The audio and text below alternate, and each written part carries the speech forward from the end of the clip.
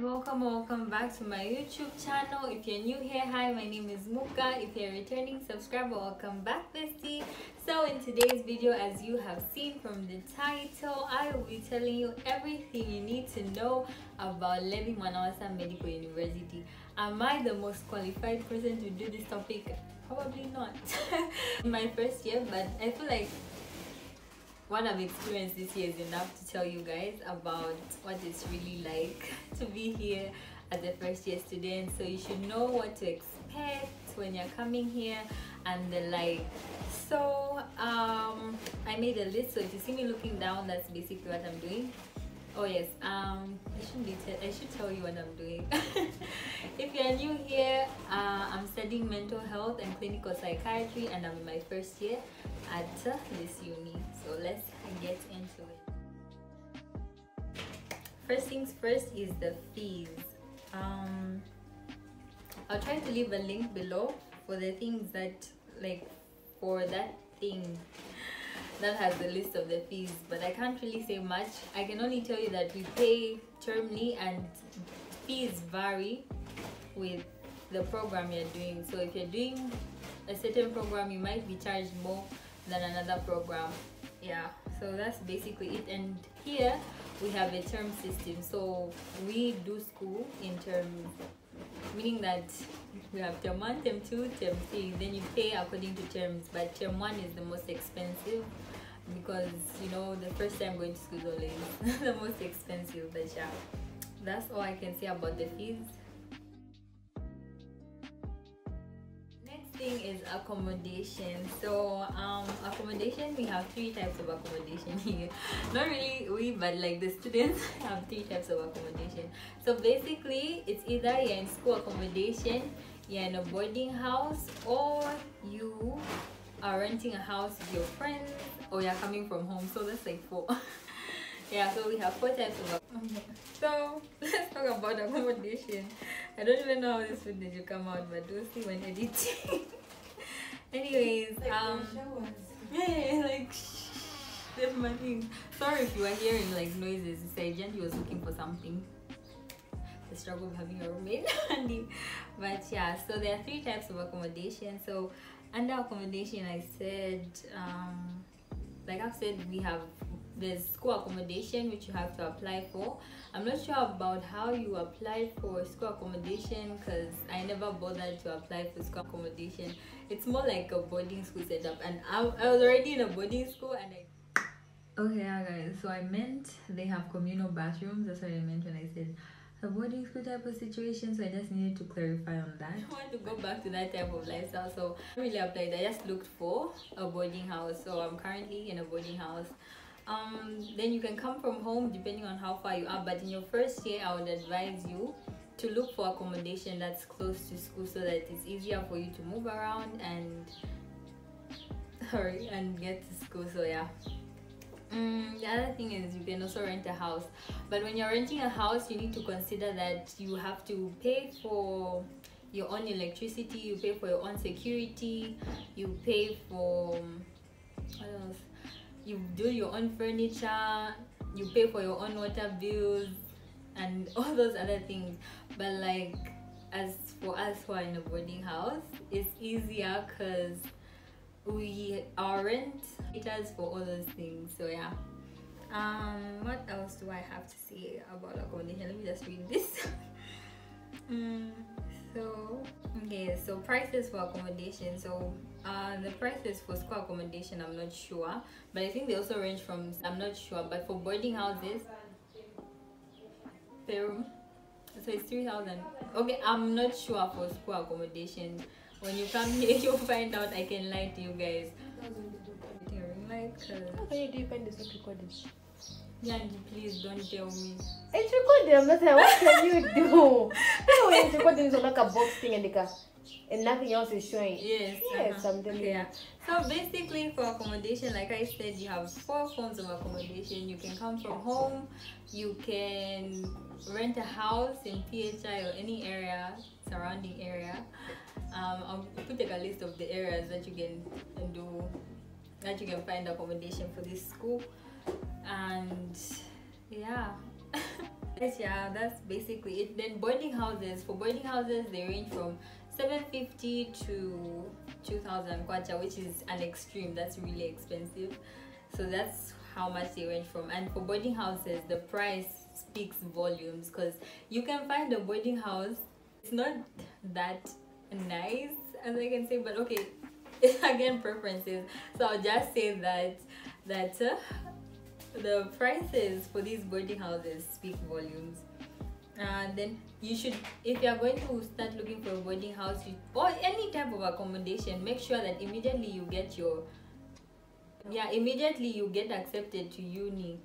Or even right now immediately you get accepted to this uni. I won't say if you apply because you may not you may or may not get in. And all the best yeah yeah all the best in getting accepted. But it's not that difficult if you meet all the standards all the qualifications and the requirements thing so basically when you just get your thing when you just get your acceptance letter start looking for accommodation. Because it runs out fast. The good ones that is the good accommodation. Because returning students also want accommodation.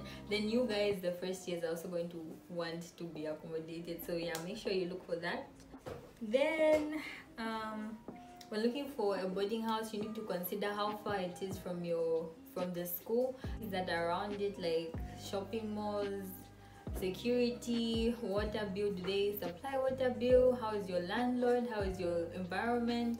Which area you're in? Like so many things go into it. You should tell me if you want a whole video on that because it's a lot. But yeah that's basically what i can tell you. Currently my boarding house um were the two of us in this room and boarding houses differ because sometimes you find they range from one person in a room to maybe six ten people in a room. And that's again personal preferences. If you don't mind being in a room with 10 people it's sure you can find a boarding house like that. Though i haven't heard of a boarding house that has 10 people the majority that i've heard of is six. Yeah. But that's, that's how much they range from and then you should also look for something close to school because it's going to be more convenient for you as a first year student. So please look for something that's close by and yeah.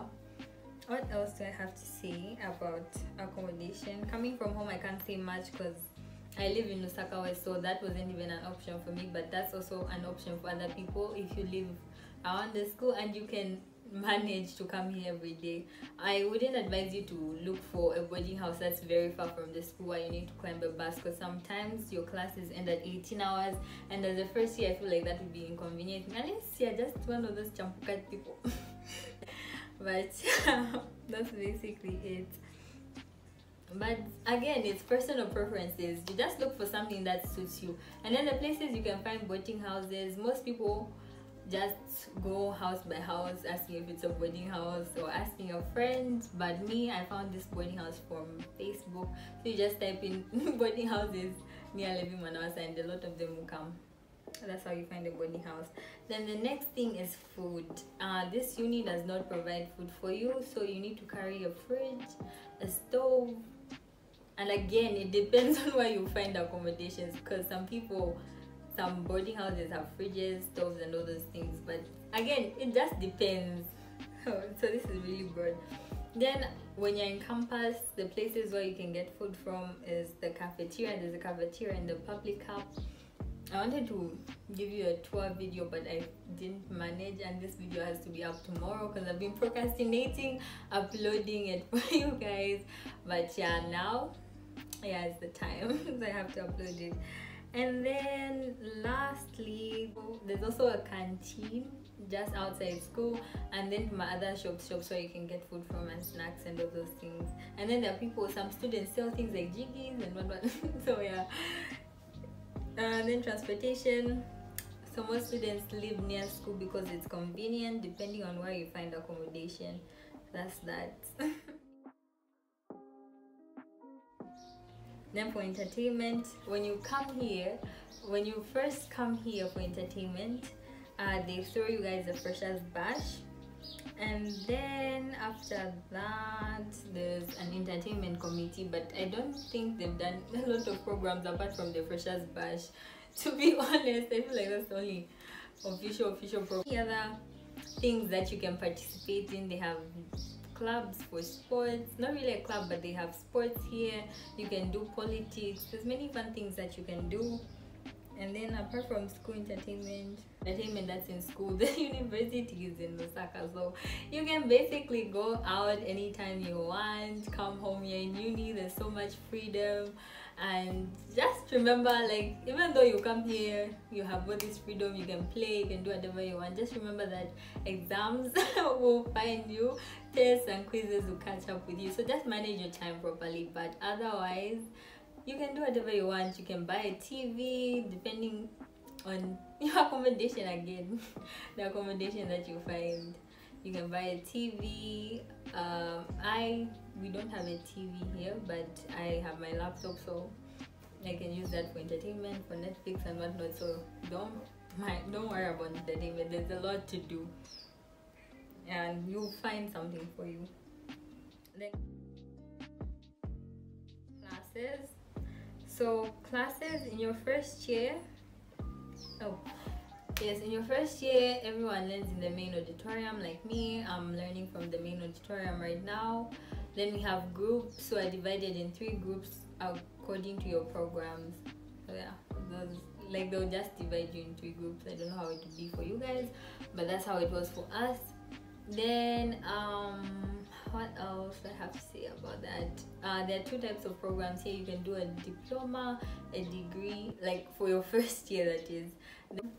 If you're doing a diploma program, it's three years, so it's basically like a degree program but without your NS level. Yeah, that's basically it about the two types of things. And there are many programs that they offer, or in the medical field. You can do emergency medicine it's called you can do a degree in clinical psychiatry. There are specialty courses like instead of doing the whole medicine then you specialize you can go directly to specializing. Like me i specialize in mental health and clinical psychiatry even though i'm just like a first year. I don't have to go through the whole process of med school then doing psychiatry. So they have ophthalmology dental school different things that you can pick which one you want. Yeah. You just have to see yourself. And so a degree program is four years a diploma program is three years and medicine is a degree program but it's six years here. So yeah. And then the courses that you'll be taking in your first year are mathematics chemistry if you're doing a degree program. I don't know about a diploma because i'm doing a degree so if you're doing you'll be doing chemistry mathematics biology and physics. Those are the courses. And i won't say much about the courses because people take subjects differently. What you might find easy um, i find difficult but yeah. Then each course comes with tutorials and labs except from math. Okay and for math i meant they don't have labs so. and oh yeah an important tip when you come here don't miss tutorials. Tutorials really help you so don't whatever uni you go to just don't miss tutorials. They're really helpful. If you didn't understand in the lecture you can go to your tutorial and they'll explain for you in depth so yeah don't miss tutorials. I'll try to see if I can find any helpful links and I'll leave them in the description box below and apart from that i think that's it. I don't know if i did a good job and helping you guys. I hope this video was insightful. Tips to remember when you get accepted start looking for accommodation. Number two um just come here and have fun. There are a lot of fun things to do when you're in uni because again the freedom is a lot. And just um, manage your time properly make friends. Enjoy it's like a new chapter in your life so make sure you enjoy it because you only go to uni once. You're only in uni. I don't know the very thing but just ensure that you enjoy make friends and just have a good time. Even though it's very stressful i won't lie to you guys it's intense. It's very intense. It's a lot compared to what you'll be coming from. But so far it's manageable if you have the interest if you have the interest it's manageable. And you can get through this don't worry. Yeah anyways i feel like that's all. Again i'll leave the helpful links in the description box. Tell me what else you want to see. I'll be posting the room tour so now that you know that i'm in a boarding house i don't know if you guys still want to see a tour of my room but yes i'm in a boarding house for the two of us in a room and it's self-contained. Yeah again that's also what you need to look for. Like do you want to be in a self-contained room? Do you want to be sharing? Are you okay with sharing? Like you know such things. But if you want to be alone in a room just start looking fast for accommodation. Any you'll find yourself sleeping on a mattress i'm telling you. Because there are people who rent out mattress spaces in living rooms as boarding house spaces. Yeah that's a thing yeah so i think that's basically it Mm. If you liked it, leave a like, comment, subscribe, tell a friend, tell a friend. yeah, send this to anyone who you think it would be helpful for. And what else? Yeah, just come, have fun. Whatever uni you'll be going to is probably the same for NS. But that's basically it. I think that's all I had to say. I hope this video was helpful for you and it's finally here. After procrastinating for a really really long time about doing this video. Um oh and lastly i wanted to say remember that every person's university experience is different and always try to make the best of every situation. So if i had a tough experience maybe for you to be easy and if you don't agree with what i've said it's probably that because we have different experiences. So, yeah you know what i mean. But that was basically it. I hope you enjoyed this video. I hope yeah. Bye guys